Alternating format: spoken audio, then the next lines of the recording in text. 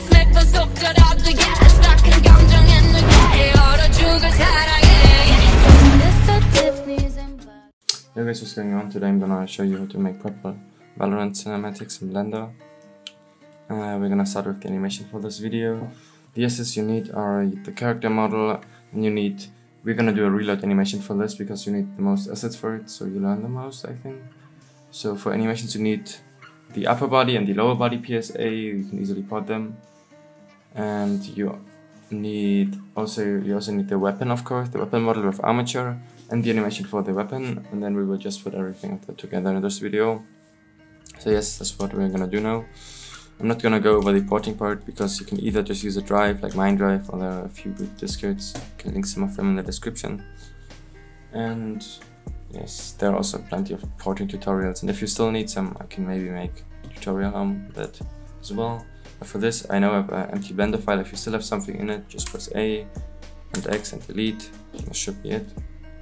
Now we're gonna go to File, Append, append any model. Let's go with Phoenix to object, object, and select the AO and the MO. If this doesn't have a that MO at the end, you can still select it. Sometimes it's hidden. Then you press append. Now we have uh,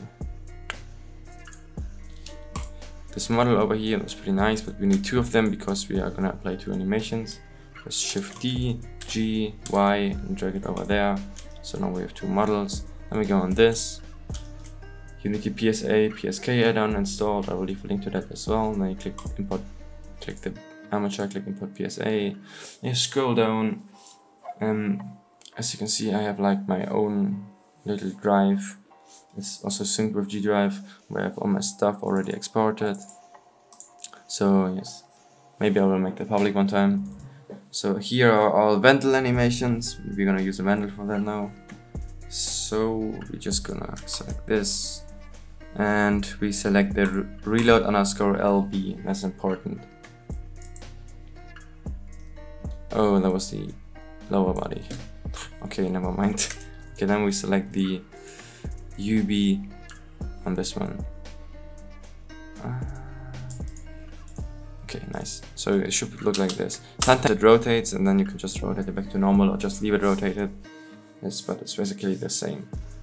I'm gonna drag this to the left because that's what I usually have. Uh, for this, we're gonna now click on the lower body and press tab.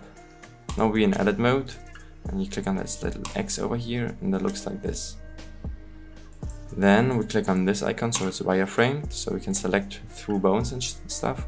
And then we drag a box like this. And we also need this bone. So now it looks like this. It's just the legs, the lower body.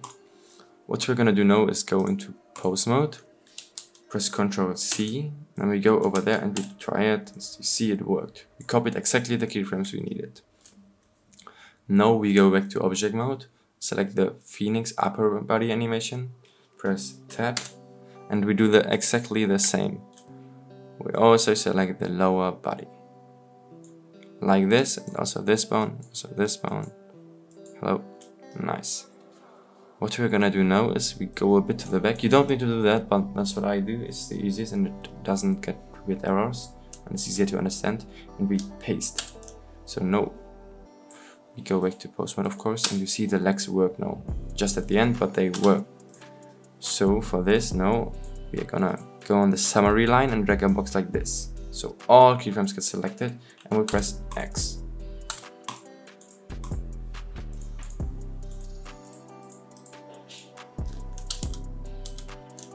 So yes, I can't, I don't know, these are sometimes a bit buggy. Okay, yes, so now there I. Then we go to the frame 1, drag a box like this, and we drag the keyframes over there. So now if we play it back, Yes, we have a fully working reload animation. Let's go. You can delete this now. And you can drag this to the center. It's pretty nice, isn't it?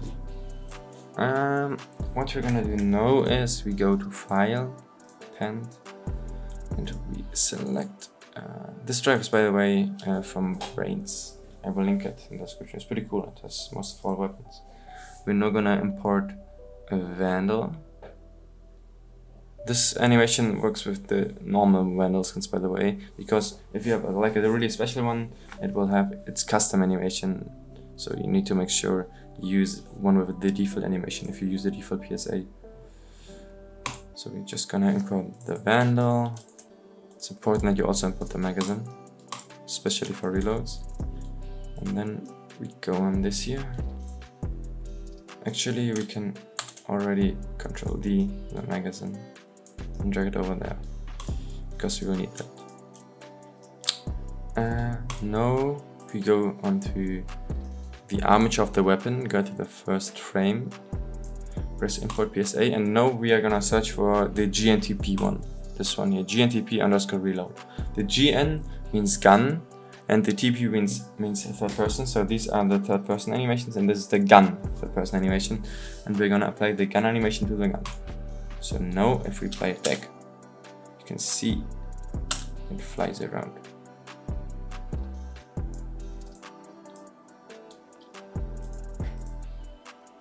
Uh, and now we click on this one, we just drag out and we press this X. So no, it isn't parented anymore. So this magazine is animated now and the gun trigger thingy, I don't know what it's called exactly. Yes, get also getting dragged back, that's pretty important.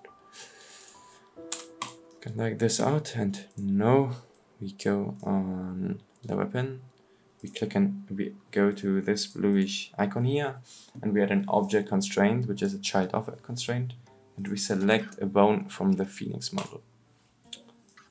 And now we go to because he's holding it in the right hand we go to r underscore weapon point. As you can see now it is working. That's nice. And for this we're gonna click on local and then on the reddish thing you can drag it a bit and just set it to 90 and that should be already it I think. Nice.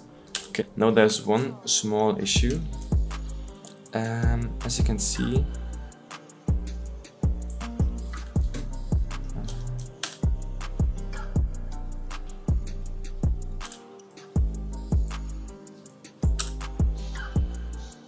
Oh, it isn't actually. Sometimes I once had that my magazine was lagging a bit, but this one is working perfectly fine.